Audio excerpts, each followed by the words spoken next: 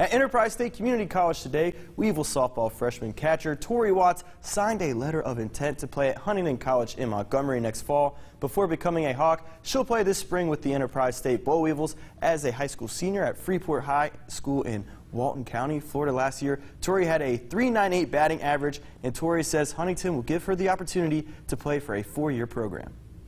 Well, first off, their school, it's a great school, and they have the program that I want to go into. And then Coach Casey, when I went for my visit, I knew right away, like, I was going to fit in, and that she was the type of coach that I would really get along with and strive in their program. Before heading to Montgomery, ESCC coach Tracy Harrison says Watts will play a pivotal role behind the plate for the Weevils when they start their 2021 softball season in February.